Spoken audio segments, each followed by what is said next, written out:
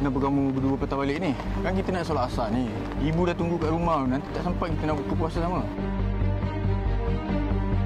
Aisyah, Aisyah. Cuma cakap kenapa. Kalau tak cakap macam mana kami nak tahu? Aisyah, Ishak, korang ni dah kenapa ni?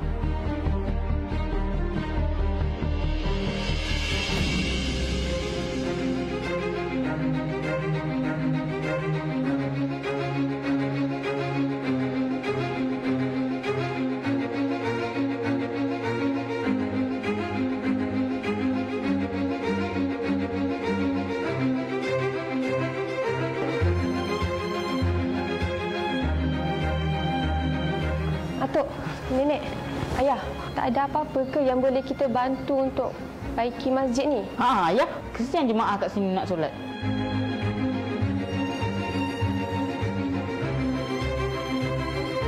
Boleh. Uh, kita boleh bantu sama-sama. Ya Aisyah? Izzak? Ni. Masuk dalam tabung. Allah Subhanahu Wa Taala berfirman yang bermaksud dan saling membantulah kamu dalam perkara kebajikan dan ketakwaan.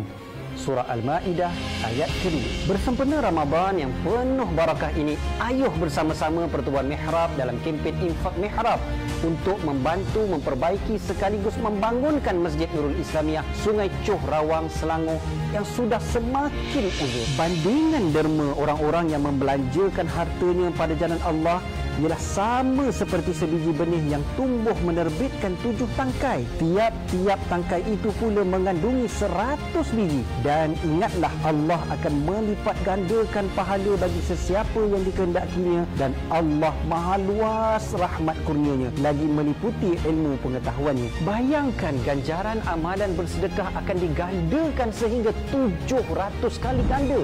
Nescaya apa yang kita infakkan untuk Masjid Nurul Islamiah Sungai Cho dan Pusat Tahfiz terpilih bersama kempen Infak Mihrab di bulan Ramadan ini insya Allah pahala serta rezeki akan menderu-deru yang Allah akan kurniakan buat kita semua.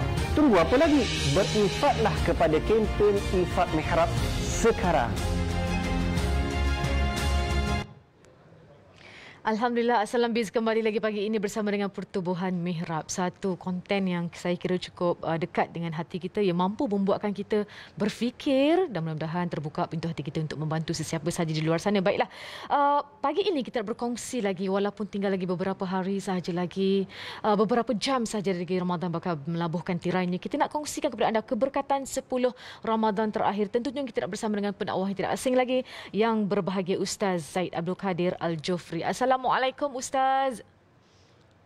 Waalaikumsalam warahmatullahi wabarakatuh. Masya Allah, Ustaz berada di kota suci Mekah. Dah sahur dah Ustaz?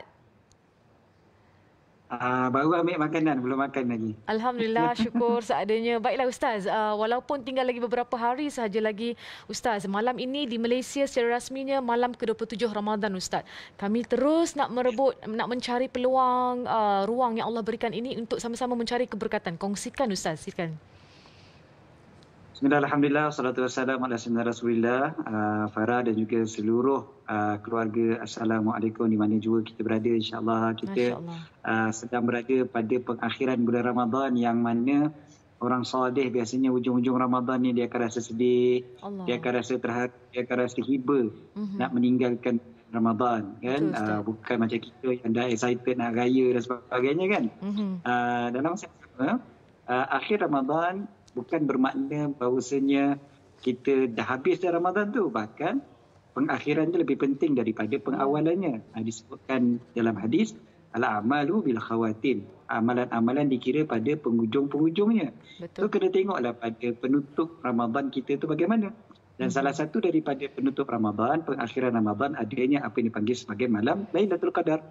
Yang disebutkan oleh baginda Nabi sallallahu alaihi wasallam carilah malam Lailatul Qadar itu pada 10 yang akhir dalam satu hadis yang lain carilah pada malam-malam yang ganjil. Mm-hmm. Jadi maknanya uh, malam 27 contohnya pada malam ini di Malaysia eh, kami baru kami masih lagi malam ke-27 di sini belum subuh lagi. Mm-hmm. Uh, jadi malam yang ke-27 ni patutnya kita rebut betul-betul. Uh, kalau di Mekah Madinah ni uh, malam 27 waktu yang paling dahsyat sekali dipanggil kira kita panggil kemuncak eh, malam kemuncak sepanjang tahun adalah malam 27 Ramadan. Mm-hmm. Di Mekah, di Madinah, Di mana-mana saja memang begitu ramai manusia, begitu penuh manusia mencari keampunan daripada Allah Subhanahu Taala. Jadi apa kata?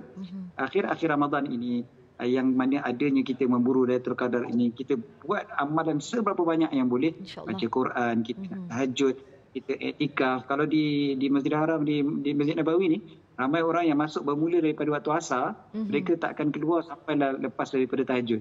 Oh. Banyak nak sahur baru keluar. Mm-hmm. Bukannya nak buka puasa, nak sahur. Sahur baru keluar. Masuk waktu sembilan asar, keluar hanya selepas daripada sebab nak berbuka puasa uh, nak bersahur lepas sahur masuk balik semula uh, ke masjid okey salah satu daripada amalan yang kita boleh buat adalah hmm. tentu sekali adalah dengan berinfak dan pertubuhan yeah. mihrab datang yeah. membantu kita insyaallah untuk kita uh, membantu masjid-masjid yang terpilih begitu juga mahat tahfiz yang ada dan hmm. bacaan-bacaan Quran yang mereka baca adik-adik kita ni dan mereka nantinya jadi imam mereka akan mengajar pula ha, kepada bukan saja kepada anak cucu mereka bahkan kepada anak cucu kita juga mm-hmm. mereka akan ajar insya-Allah kita akan terus dapat pahala insya-Allah dan uh, gambar di sebelah kita sekarang ni adalah gambar Masjid Nurul Islamiyah Sungai Cuhrawang uh, yang masya-Allah memang kita kata sangat uh, strategik tempatnya tetapi sangat uzur seperti mana hmm. Di paparan kita yang berulang kali pun kita paparkan di TV Hijrah uh, bagaimana masjid yang telah uzur ini yang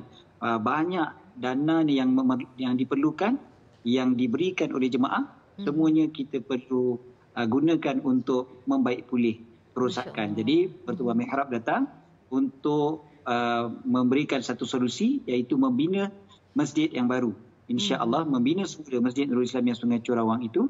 Hmm. Dan, gambar yang ada sekarang ni, gambar yang di paparan kita adalah gambar wakil daripada Pertuan Mihrab yang telah hmm. menyerahkan sumbangan kita. Uh, penonton Assalamualaikum. Yeah. Uh, sebahagian daripada sumbangan kita itu sebanyak RM100,000 mm-hmm. daripada RM12 juta ringgit yang kita perlukan. Eh.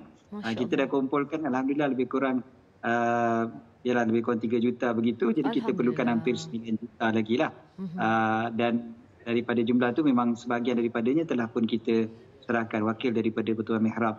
Uh, jadi apa pun, kalau kita fikir-fikirkan balik kan, uh, bila Allah Ta'ala berikan jaminan bila kita bagi infak yeah. kita akan dilipat gandakan pahala kita tahu hmm. dilipat gandakan pahala cuba kita bayangkan pula kalau infak kita tu dilakukan pada akhir Ramadan yeah. menunjukkan bahawa kita telah mendapat sesuatu daripada Ramadan selain satu daripada hikmah Ramadan adalah mengajar kita rasa empathy mm-hmm. kan bila kita melihat kesusahan contohnya kesusahan uh, ataupun kerosakan di sebuah masjid dan sebagainya kita bukan sekadar kesian kita kata dah kesiannya uh, bukan begitu je bahkan hmm. kita pun rasa sama kita hmm. pun berusaha sama-sama hmm. untuk membantu kan kita walaupun tak dapat pergi sampai ke Sungai Choh Rawang contohnya tetap kita ada caranya yeah. uh, ada cara yang ada dekat uh, skrin TV kita masing-masing sekarang ni hmm. yang paling mudah sekali yang saya selalu ulang adalah buka saja dekat infakmehrab.com tu ataupun yeah. kita sebar ke WhatsApp group kita ada nombor telefon yang tertera pun kita boleh hubungi WhatsApp kokot lah tak tak dapat nak apa akses ke website ke ataupun uh, jumlah yang besar mungkin hmm. nak diberikan hmm. dan boleh terus pergi ke uh, WhatsApp nombor yang tertera ataupun nombor akaun yang ada di di, di skrin TV kita masing-masing lah. InsyaAllah. Apa pun hmm. uh, saya selalu fikir macam ni je lah. Kita akhir Ramadan. Satu saya sebutkan tadi bukti. Bukti kita telah mendapat kebaikan Ramadan dengan hmm. kita berinfak. Sebenarnya bila infak pula Allah Taala janjikan ganjarannya berlipat-lipat-lipat-lipat kali ganda. Ya. Berlipat kali ganda tu pula pada bulan Ramadan pahala ibadat sunat macam pahala ibadat wajib. Mm-hmm. Di kalangan para ulama salaf ada yang mengatakan infak pada bulan Ramadan lebih baik daripada seribu infak selain daripada bulan Ramadan. Mm-hmm. Infak pada bulan Ramadan seribu kali lebih baik daripada infak di luar bulan Ramadan. Jadi bila kita perhatikan macam tu je, kita kata, ya Allah ruginya kalau aku tak ambil. Sebab mm-hmm. peluang untuk mendapatkan seribu kali ganda tu. Seribu Allah kali Allah. kita infak. Hanya mm-hmm. kalau kita infak pada pagi ni, mm-hmm. insyaAllah, mm-hmm. ataupun malam nanti, malam 27 Ramadan, seribu kali tu dah dapat dah. Seribu kali pasal pahala infak tu sendiri.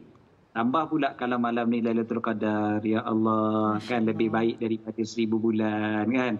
Jadi kita manfaatkan betul-betul, kita sebarkan, kita gunakan sebaik-baiknya dan niatkan, saya selalu sebut niatkan.